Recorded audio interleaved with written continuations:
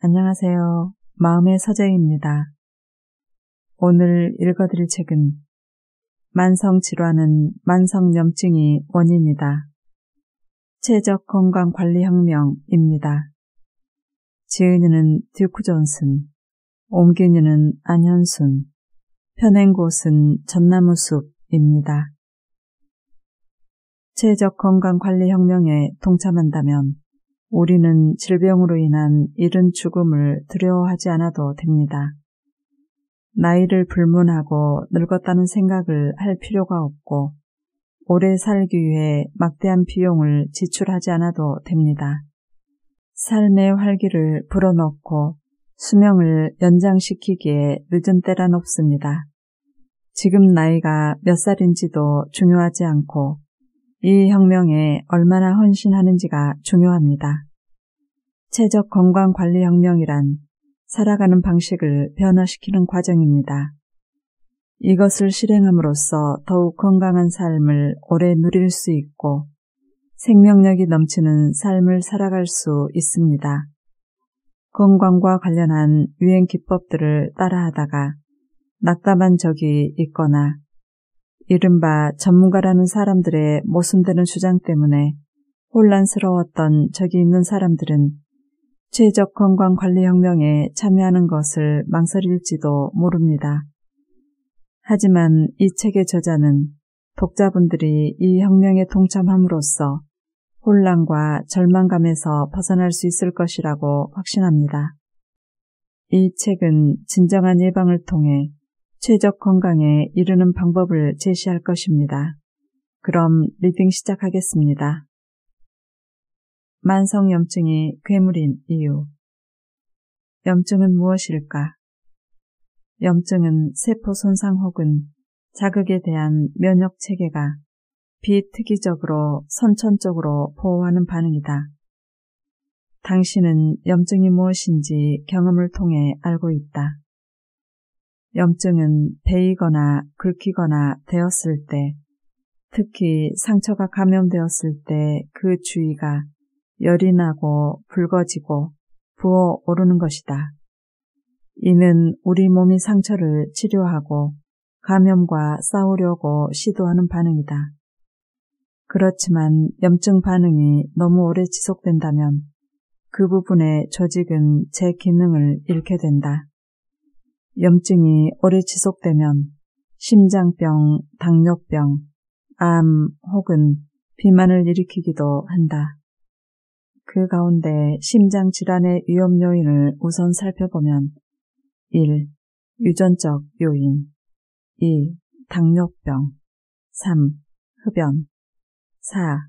고혈압 5. 운동 부족 6. 우울증 7.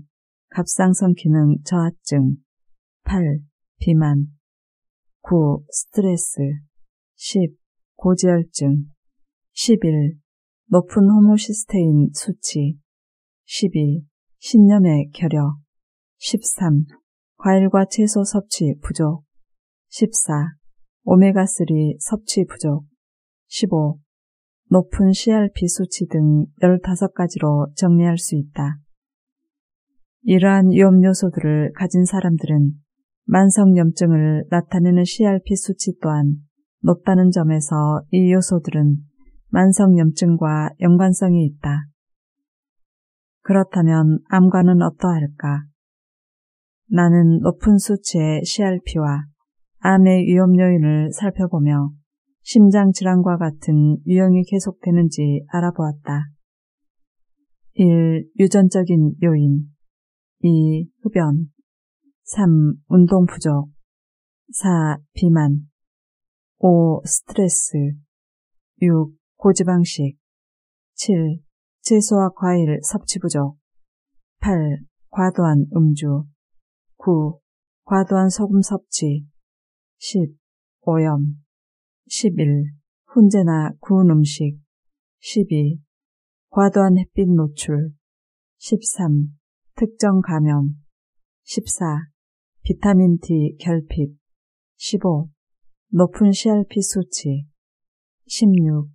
인슐린 저항성과 제2형 당뇨병 역시 16가지 암 위험 요인과 높은 CRP 수치의 상관관계도 100%였다.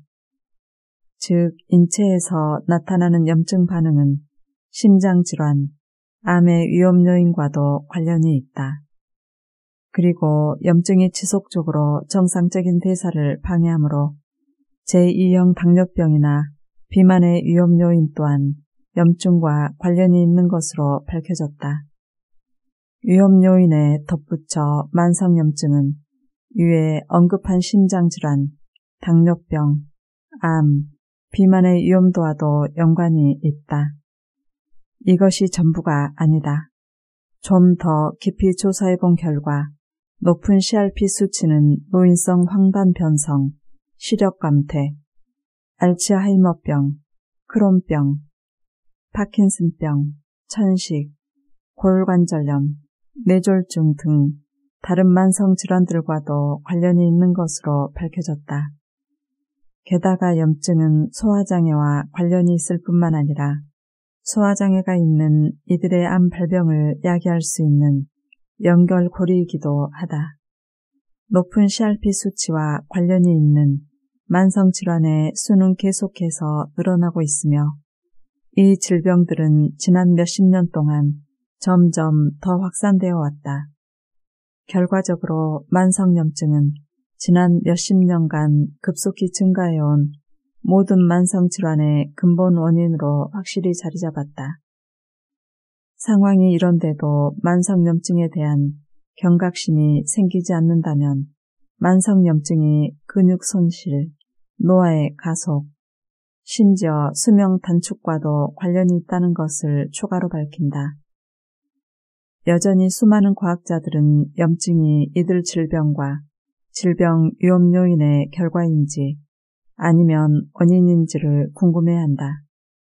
당신도 그럴 것 같아 다음 장에서는 왜 염증이 만성 질환의 주요 원인이며 그러나 잠깐 한 가지 중요한 사항을 짚고 넘어가야 한다. 만성염증은 만성질환을 앓고 있는 사람들의 혈액에서 몇 초마다 나타나는 것이 아니며 CRP 검사 결과 음성으로 나왔다고 해도 그것이 병이 없음을 의미하는 것도 아니다.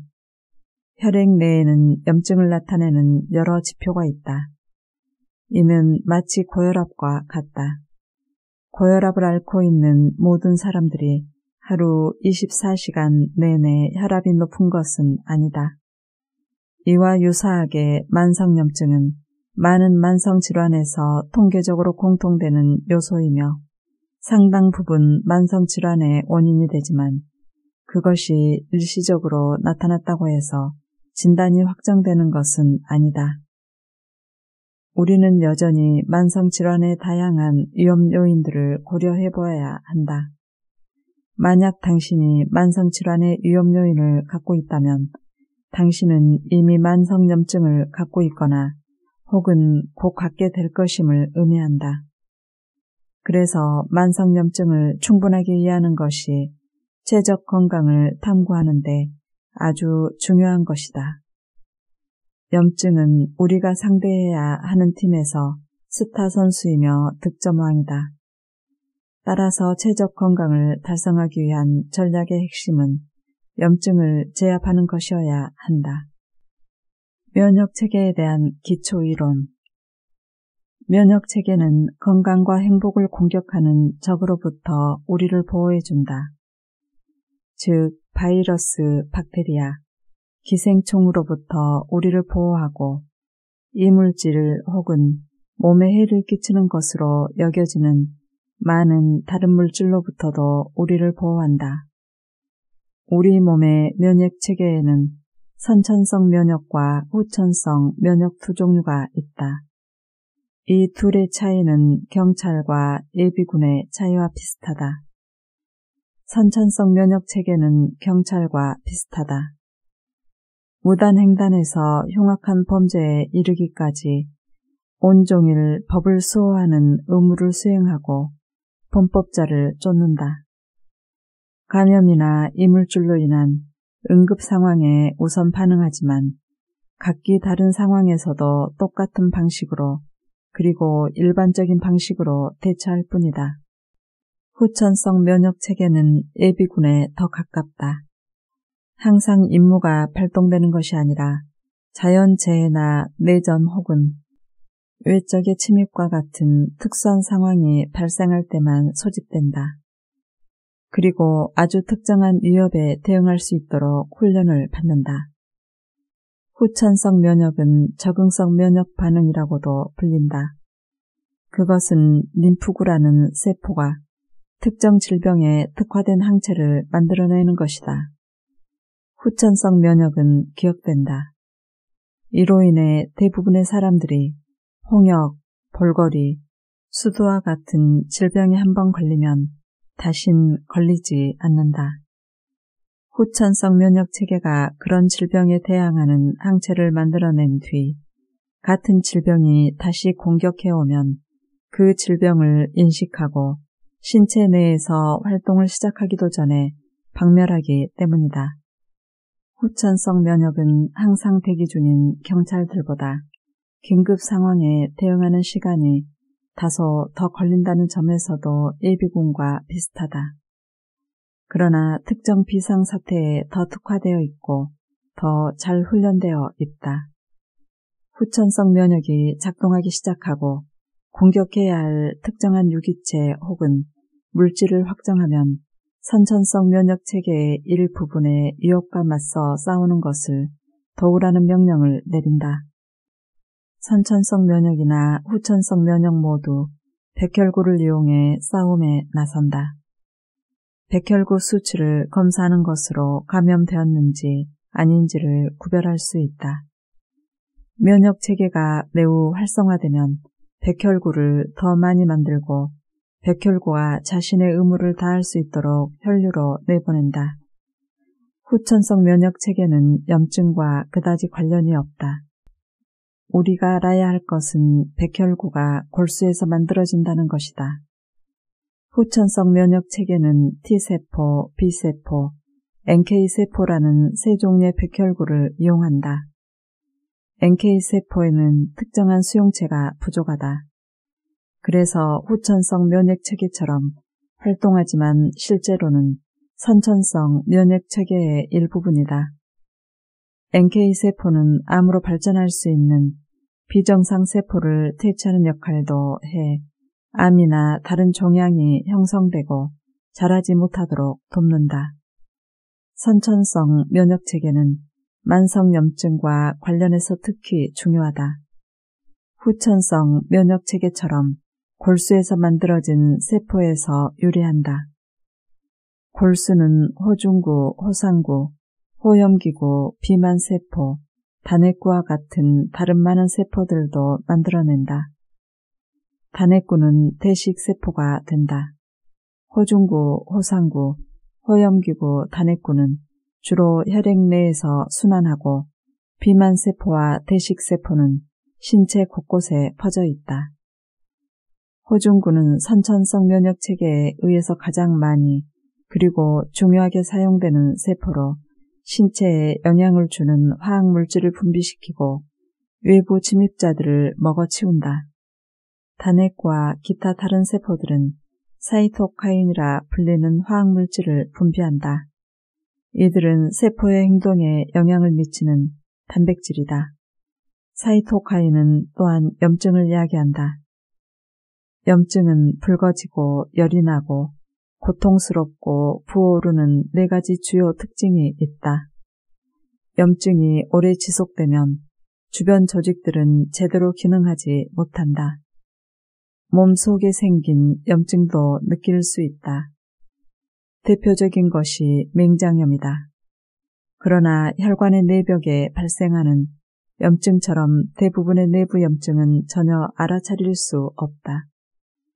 그러한 염증은 오직 CRP 검사와 같은 혈액 검사를 통해서만 진단할 수 있다. 면역 체계는 감염과 외부 침입자들로부터 우리를 보호하도록 설계되어 있다.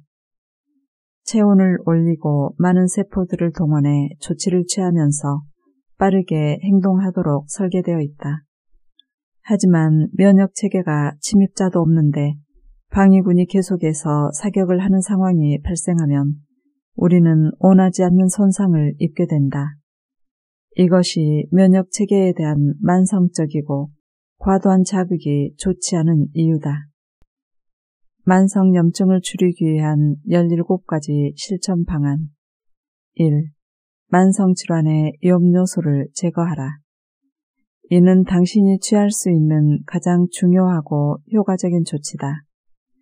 만성 질환의 위험 요소들이 염증과 연관이 있기 때문에 그것들을 당신의 삶에서 제거하면 염증을 감소시킬 수 있다. 위험 요소들을 한 번에 완벽히 제거할 필요는 없다. 위험 요소를 하나씩 제거하는 것만으로도 큰 차이를 만들어낼 수 있다. 2.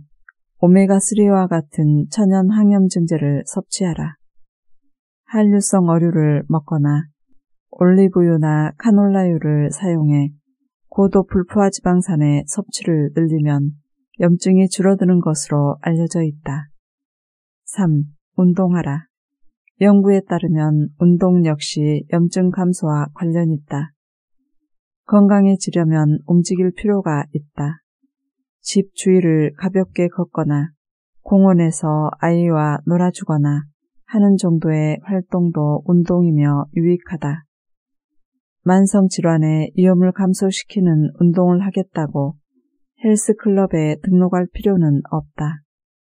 여가 시간에 산책하는 것도 염증을 감소시킨다는 연구 결과가 있다. 거기에 자기 몸에 유익한 건강기능식품을 추가하면 더 큰 항염증 효과를 볼 수 있다. 4. 복합 비타민, 복합 미네랄 제제를 섭취하라. 5. 포화지방, 트랜스지방, 오메가6 지방산의 섭취를 줄여라.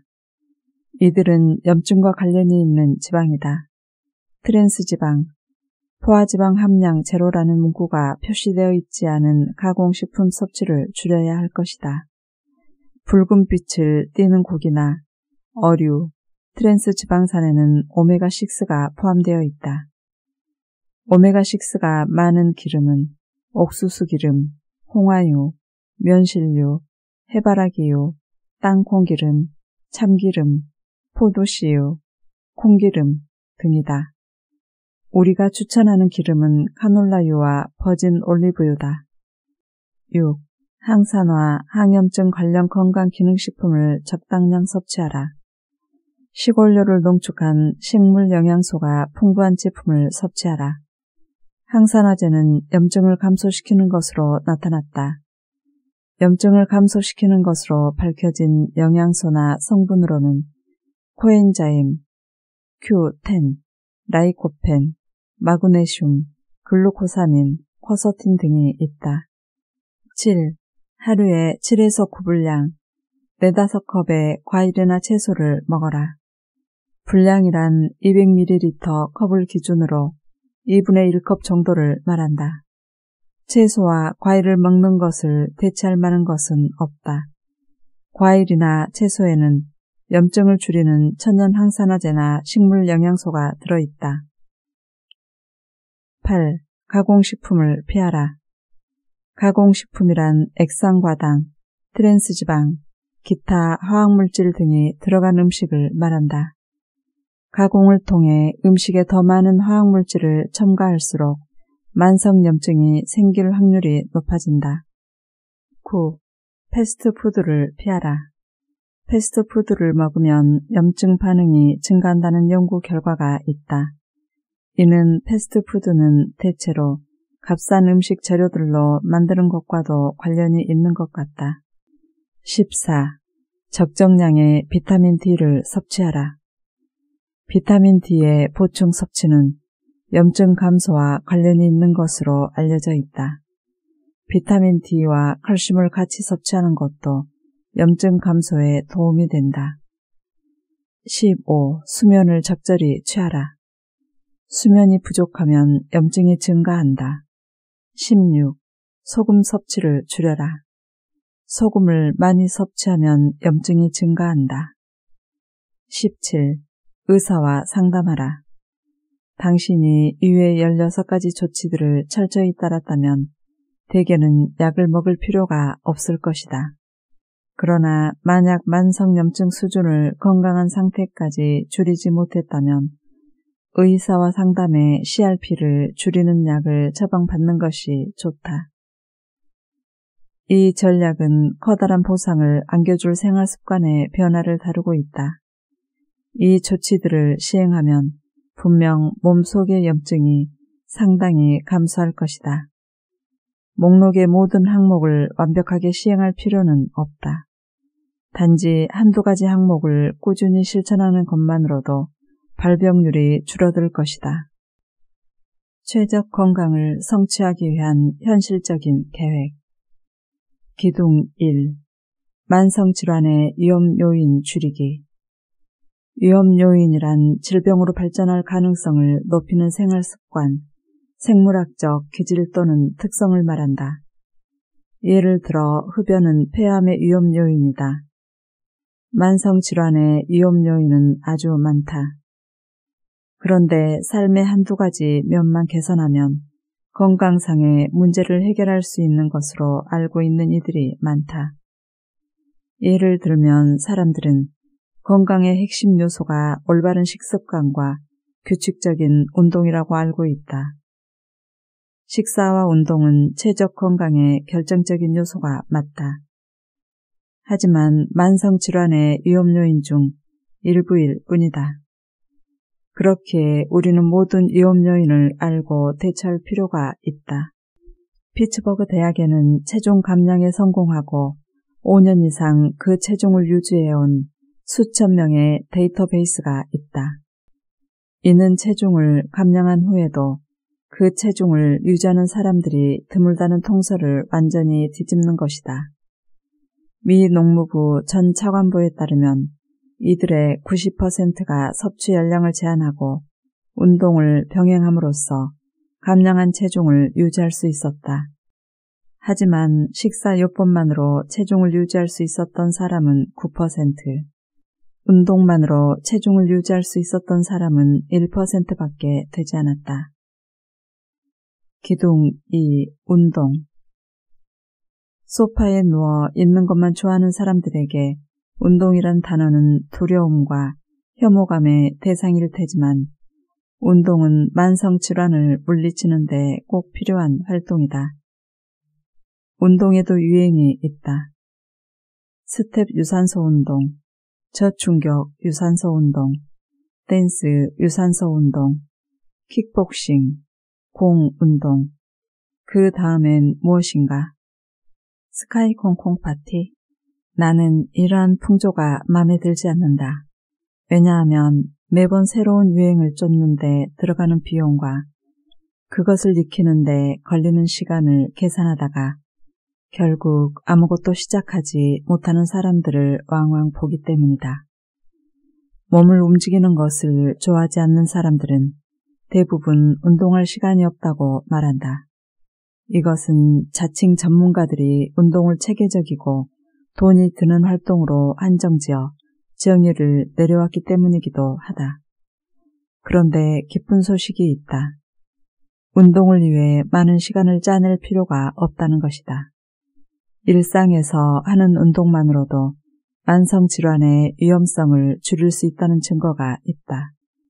다음은 일상에서 실천할 수 있는 운동의 몇 가지 예다. 엘리베이터나 에스컬레이터 대신 계단을 이용하자.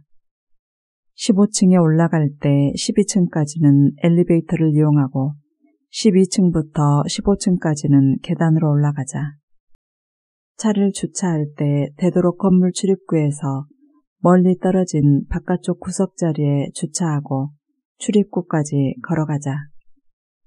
전철이나 버스로 출근한다면 한두 정거장 앞에서 내려 걸어가자. 가족과 함께 산책하거나 아이들과 밖에서 뛰어놀자. 무용이나 스포츠 댄스를 배워라.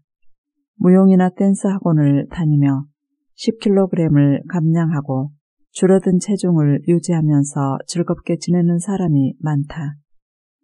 바퀴 달린 가방을 끌고 다니는 대신 어깨에 매는 가방을 이용하자. 운동이 건강에 가장 크게 기여하는 것 중 하나는 염증을 줄이는 것이다. 여가 시간에 즐기는 신체 활동은 만성 염증을 감소시킨다. 노인들은 단 6분 동안 빨리 걷기를 하는 것만으로도 염증이 감소하는 것으로 나타났다. 운동과 함께 항산화제를 비롯한 건강기능식품을 복용한다면 더 큰 항염 효과를 거둘 수 있다. 요컨대 운동이 체적 건강에 도달하는데 엄청난 도움을 준다는 사실은 과학적으로 입증되었다. 근력 운동이나 팔굽혀 펴기와 같은 근저항성 운동, 무산소 운동과 걷기 달리기, 수영, 자전거 타기 등 심장 박동수를 올리는 심혈관 운동이 모두 유효하다. 기둥 5. 심적, 정신적 건강과 긍정적 태도. 행복하고 희망적인 사람들이 늘상 우울하고 화를 잘 내고 두려움이 많고 비관적인 사람들보다 더 건강하게 오래 산다는 사실을 우리는 오래전부터 알고 있었다. 구두쇠 스크루지 영감은 한밤중에 얻은 깨달음 덕분에 더 나은 사람이 되었을 뿐만 아니라 아마도 자신의 수명까지 연장했을 것이다. 이런 현상은 기적이 아니다. 최근의 과학적 연구 결과는 그 생리적 인과관계를 정확히 지적하고 있다. 우울증은 신체적, 정신적 건강을 악화시키는 두 개의 호르몬 경로를 자극한다. 건전하고 참된 신앙심을 간직한 사람들이 더 오래 더 나은 삶을 산다는 사실을 밝힌 연구 논문도 1200개나 된다. 이것은 아마 방금 언급한 두 가지 호르몬과 부분적으로나마 관련이 있을 것이다. 이는 듀크 대학, 국립보건원, 하버드 의과대학 등에서 연구되고 있을 만큼 아주 흥미있는 연구 분야다. 인간의 심적, 정신적 건강이 인체 생리학적 건강까지 지배한다는 것은 이제 의심의 여지가 없는 사실이 되었다. 어떤 과학자들은 심적, 정신적 건강을 영에 속하는 주제라며 토론조차 꺼리고 아예 인문사회 과학의 영역으로 취급해버린다. 보편적인 지식이었다가 결국 실효성이 없는 것으로 밝혀진 많은 의학적 관행들. 예를 들어 한때 폐경기 여성들은 심장병의 위험 요인을 줄이기 위해 호르몬제를 처방받았지만 추후에 연구 결과 효과가 없음을 알게 되었다. 훨씬 더 믿을 만한데도 그들은 근거를 객관적으로 살펴보려고 하지도 않는다. 그러니 그냥 한번 시도해보라. 몸을 움직여 운동하듯 당신의 마음을 훈련시켜라. 그리고 그것을 당신이 건강해지는데 이용해보라. 그래도 믿음이 생기지 않는다면 되도록 당신의 삶에서 긍정적인 것들을 강조하라.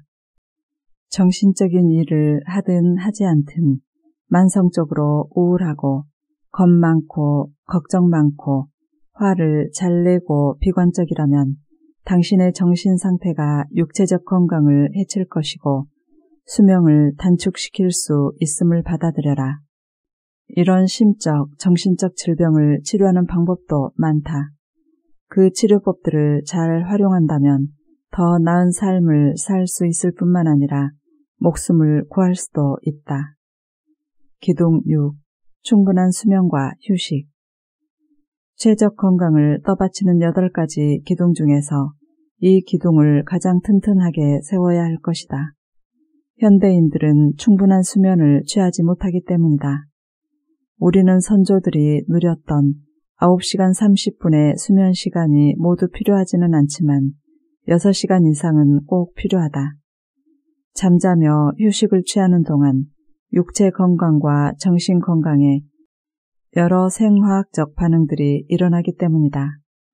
예를 들면 렙틴과 그렐린이라는 호르몬은 수면의 양에 영향을 받는다. 수면 부족은 렙틴의 감소, 그렐린의 증가와 관계 있고 두 경우 다 식욕을 증가시키는 결과를 가져온다. 따라서 수면 시간을 좀 더 늘린다면 강박적인 식사 장애를 덜 겪을 것이다. 충분한 수면이 얼마나 중요한지 보여주는 연구 결과들 중 몇 가지만 여기에 소개하겠다. 만성적인 수면 부족은 수명을 단축시킬 수 있다. 수면은 사고 기능, 당대사, 면역 기능 등에 영향을 미친다. 매일 밤 누적된 수면 부족은 심각한 건강 문제로 발전할 수 있다. 만성적인 수면 부족은 만성염증의 증가와도 연관된다. 수면성 무호흡은 심장병의 위험도를 증가시키는 것으로 알려져 있는데 이것은 부분적으로 염증 증가와 관련이 있다. 불충분한 수면은 비만의 위험성 역시 높인다. 최적의 수면 시간은 성인의 경우 7시간에서 8시간이다. 일주일에 하루 몰아 쉬는 것보다 매일 밤 조금 더 길게 휴식을 취하는 것 역시 체적 건강을 성취하는 데 도움이 된다. 기둥 8. 건강한 환경과 양호한 위생 대기오염은 여러 가지 상기도 질환 및 암과 관련이 있다. 심장병 위험 요인의 증가와도 관계가 있다. 이 문제를 해결할 한 가지 방책은 남극이나 남태평양의 섬으로 이사하는 것이다. 불행히도 그렇게 할 형편이 되는 사람은 거의 없다. 그렇기 때문에 그 지역들이 오염되지 않은 것이다. 사람이 거의 없고 산업이 발달되지 않은 곳이기 때문에 대기 오염은 국지적으로 일어날 수 있어서 당신의 가정이나 직장에 발생할 수도 있다. 예를 들어 새로 지은 집에는 화학가스가 들어찰 수 있다. 그 화학가스는 라돈가스로 주택의 바닥이나 주변의 흙에서 방출되며 지하실에 스며들 수 있다. 이것은 특히 흡연자들에게는 폐암의 주요 원인이 될 수 있으므로 주의하고 관리해야 한다. 만약 가정이나 직장에서 대기 오염을 피할 수 없다면 공기청정기 구매를 고려해 볼 수 있다. 대기 오염만이 문제가 아니다. 수질 오염은 더욱 심각하다. 식수에서 발견되는 폐기된 약물이 전 세계적으로 문제가 되고 있다. 가장 좋은 방안은 가족용 정수기를 구입하는 것이다. 최상의 제품들은 약간 비싸다. 그렇지 않은 것은 필터를 더 자주 교체해야 한다. 이 여덟 번째 기둥의 또 다른 중요한 구성 요소는 위생이다. 기본적인 위생 지침도 현대적인 상수 시설도 하수도도 없는 나라도 있다. 덧붙이면 일부 일처제는 다양한 질병을 방어해주는 훌륭한 제도다. 매우 상식적인 이야기지만 감염 가능성이 있는 타인의 체에게 자주 노출된다면 최적 건강을 유지하기는 매우 어렵다. 여덟 가지 기둥 모두 튼튼히 세워야 하나. 이 여덟 개의 기둥은 최적 건강의 초석이다. 그렇긴 하지만 당신이 지금 당장 이 초석들을 튼튼히 해야 한다는 생각에 겁을 먹거나 어쩔 줄 몰라 하지 않기를 간절히 바란다. 만약 이미 그런 상태에 처했다면 숨을 깊게 들이마시고 마음을 편하게 가져라. 완벽주의는 체적 건강 관리의 적이다. 현대의 대중적인 건강 문화는 건강 관리 계획을 완벽하게 따르지 못하면 아무 소용이 없다는 생각을 사람들에게 주입시켜 왔다. 이러한 생각은 잘못된 생각으로 수백만 명의 사람들이 건강 관리 계획을 시도조차 하지 못하게 의욕을 꺾었다. 이런 덫에 걸려들지 마라. 최적 건강을 향해 내딛는 걸음은 설령 한 걸음일지라도 어느 정도 건강에 도움을 준다. 내가 추천한 것을 전부 다 완벽하게 실천할 수 있는 사람은 드물다. 하지만 할 수 있는 만큼 최선을 다한다면 건강하게 오래 살 가능성이 상당히 커질 것이다. 함께 해주셔서 감사합니다.